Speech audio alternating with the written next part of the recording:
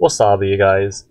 I got too lazy to write it down, so I'm just gonna uh, paste it here.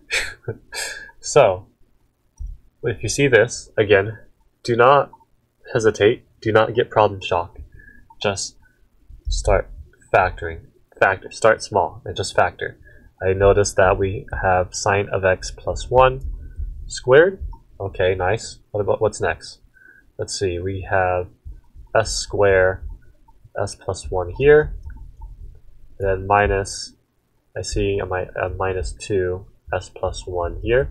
Uh, we can notice that we can factor out s plus 1.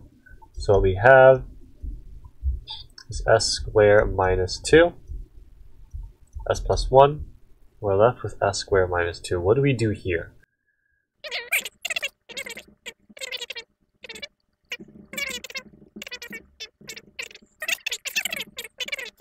We already know that we have our answer, negative cosine of x, and then minus x, and then here, this is negative 1 plus, this is technically cosine square of 1 minus s.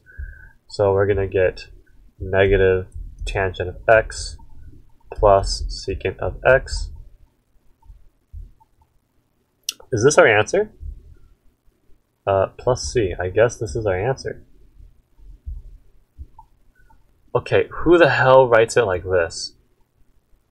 Who on earth? No one writes like this. Why? What? No one, no one writes like this. Uh, oh my god. Okay, well, I'm just gonna say it's correct. Alright, well, there you go. Alright, cool. Well, again, don't get problem shock, just simplify and factor it all out. Something might nicely happen. Okay? Even when you get to here, like, don't freak out. Just start bashing. Alright. I'll see you guys in the next video.